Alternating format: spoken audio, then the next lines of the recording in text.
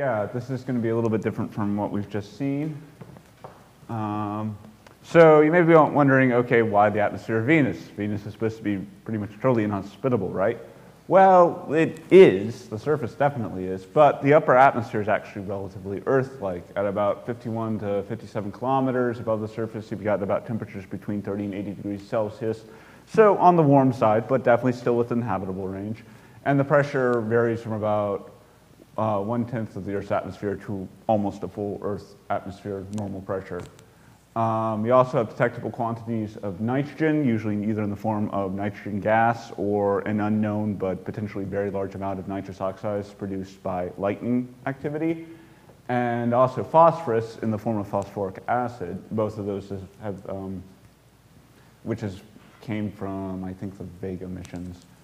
Um, you also have a lot of different possible sources of energy, either sunlight, or the redox gradients um, between various oxidized and reduced sulfur and um, also oxidized and reduced carbon compounds as well, which is kind of set up by the really complex Venusian ap uh, atmospheric chemistry.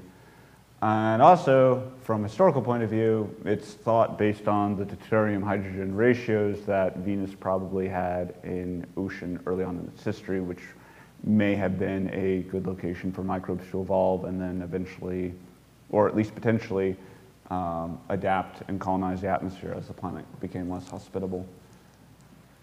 So we decided to try to test this idea. Um, built it using XPPAUT, which is a nice, small, free little package for um, modeling differential equations. Uh, the initial parameters for the atmosphere were based on remote sensing observations, mostly from either Pioneer Venus or from Vega, as well as a little bit from Venus Express, mostly the older missions. The initial parameters for our hypothetical microbes were based on values taken from terrestrial thermophile and acidophile bacteria, so Thiomicrospira, um, sulfac sulfactotum bacteria, never pronounced them correctly. Um, but you know, existing and in some cases fairly well characterized terrestrial bacteria that would survive in a warm acidic environment. Uh, so, I am an ecologist. I am not an atmospheric chemist, which meant I made a load of assumptions in building this model just to get it simple enough that I could actually manage it. Uh, first off, the atmospheric chemistry was hugely simplified. We assumed a global uniform distribution, so we're not taking regional variations into account. Uh, it's steady, steady state, um, so we're assuming one of the weird things about the Venusian atmosphere is they've been noticing a decline in sulfur dioxide, um, but we're assuming that's being replenished probably by volcanic activity. Um, and we're ignoring the hundreds and hundreds of potential side reactions and focusing only on about three or four major reactions for the purposes of our model. The microbial growth is based on the Monod equation, which is a variation on, on Michaelis-Menten kinetics, um, in which case you, the growth rate mu is, see here, that better? There we go. The growth rate mu is derived from mu max, which is the uh, maximum growth rate, which is usually empirically obtained, uh, times the substrate, um, whatever the organism needs to grow on, carbon, nitrogen, phosphorus, divided by the half saturation constant, which is another empirically observed value, um, then again, plus the amount of sub, the concentration of substrate.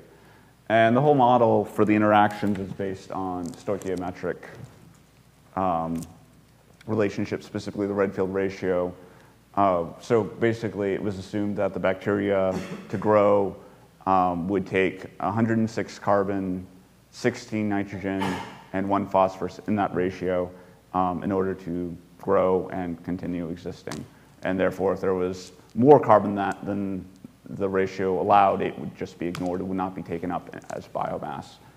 Uh, and then for sort of, I guess, the metabolic part of the cycle, we've got two major metabolic reactions um, by two different microbial populations. The first one is a photosynthetic reaction, um, in which it's the phototrophic oxidation of hydrogen sulfide to elemental sulfur um, or other forms of amorphous sulfur.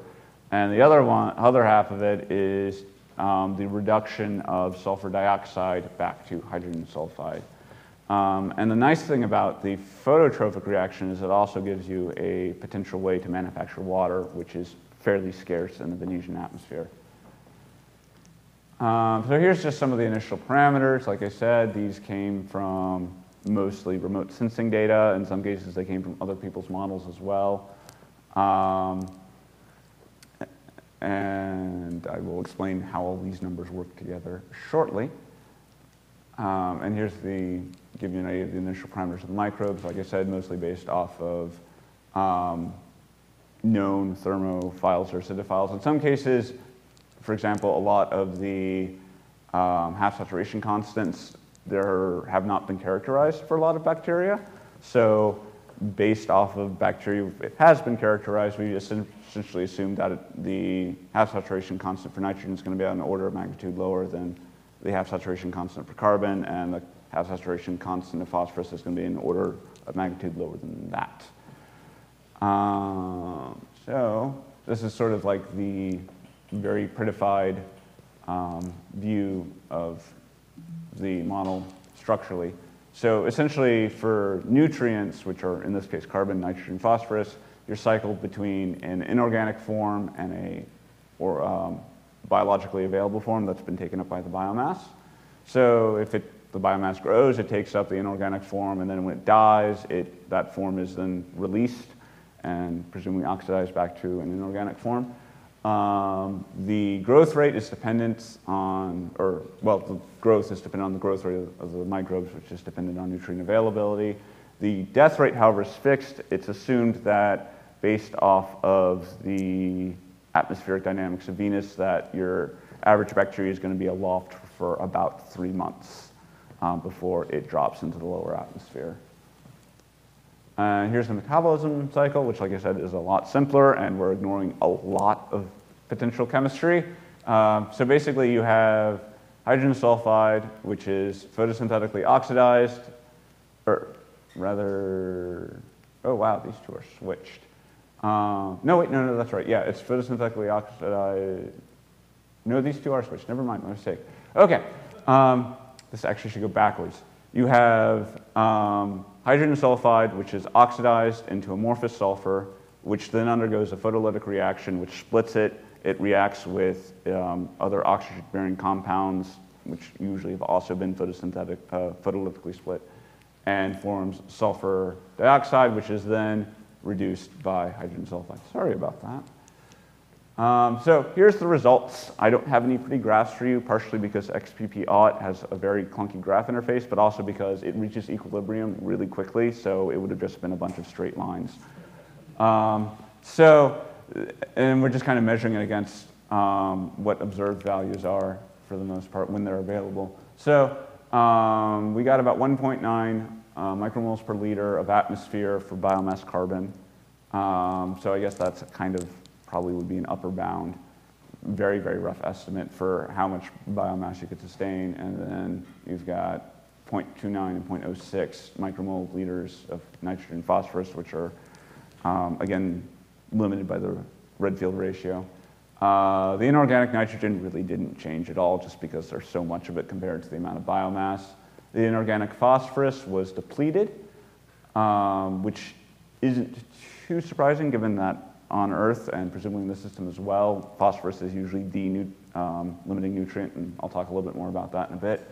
The sulfur dioxide was enriched, and correspondingly, the uh, hydrogen sulfide was depleted. Um, and also, there was a lot more amorphous sulfur generated than um, has been measured so far, which is an odd result. Um, so just talked about a little bit more. Like I said, phosphorus is probably the limiting nutrient, or actually at least in the modeled system, is definitely the limiting nutrient. If you increase the initial uh, inorganic phosphorus available from 0.051 to 0.07, it pretty much doubles the amount of biomass. So very small changes will result in a major change in the amount of biomass. Um, again, much larger quantities of amorphous sulfur were produced than observed, assuming that the model is even somewhat resemblant of reality. Um, that raises the question of why haven't we observed more? And there are a couple different ways or that you might be getting rid of it as a sink. Um, abiotically, there are a couple of abiotic pro uh, processes. Again, photolytic reactions or photochemical reactions. Um, there are a bunch I didn't, wasn't able to take into account, although most of them have very low reaction rates, so that's probably not too likely. A more likely explanation might be nucleation, that is, they clump together and form aerosols, which can then either drop out of the atmosphere um, or simply aren't detected by instrumentation. Uh, there could be a faster mechanism of conversion to sulfur dioxide. And also, one of the more interesting hypotheses is that, um, is that uh, Schulze-Makuch and colleagues 2004 speculated that some of the absorption features they've seen in the Venetian atmosphere was actually the result of cyclooctasulfate, which is a very effective UV protectant um, and is relatively easy to synthesize in the Venetian atmosphere, and that bacteria might have actually been generating it and sequestering the amorphous sulfur to essentially um, mitigate against UV damage, which, given Venus's lack of an ozone layer, would be something you would have to worry about. So that would make sense. Um, so just to wrap it up, um, so yeah, there theoretically is enough hydrogen or enough nitrogen, phosphorus, and carbon for a microbe like a terrestrial acidophile, thermophile, thermophile to um, survive on the, in the Venetian atmosphere. We've got, like I said, a small but plausible estimate for the amount of biomass that is supported. Um, but like I said, the conversion of amorphous sulfur to sulfur dioxide is still really poorly characterized, and that's probably one of the biggest weaknesses in the model. Ways to solve that would be, again, um, addressing the complex atmospheric chemistry, because as I mentioned earlier, there are hundreds of reactions, some of which are probably going to be more relevant than others, but I'm, the next phase is to start slowly including those and seeing how it affects the model. And in particular, um, there's also a whole set of reactions involving carbon monoxide and the formation of carbonyl sulfide, which also may be very relevant to biological systems. So, uh, without further ado, any questions?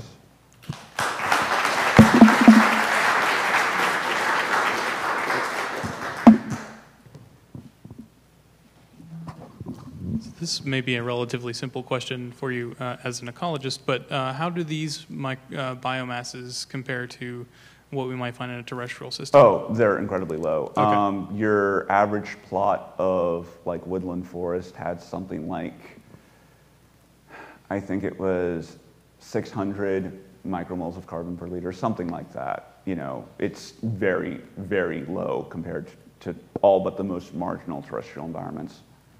Thanks.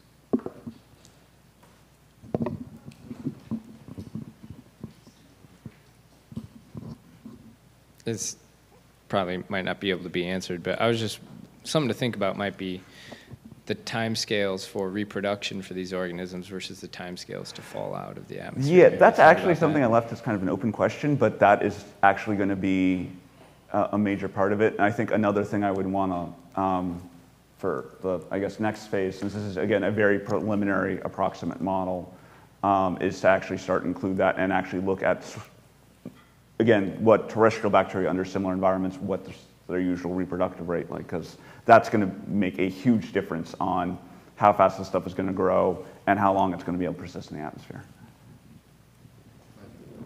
I got another probably really quick one. Um, you said this was based off of uh, thermophiles and acidophile mm-hmm. um, organisms here. Are those um, in, present in the Earth's atmosphere? Oh no, these they're uh, some of them are most of them either come from hot springs or from um, hydrothermal vents, which admittedly is a big change in environment, but unfortunately we don't. There, but that's about the closest we have to a analogous environment to something like the Venetian atmosphere. Oh, okay, I see. So Thank you. Ideally, if we could find a really weirdly acidic desert, that would be perfect, but I don't know if there are many of those around.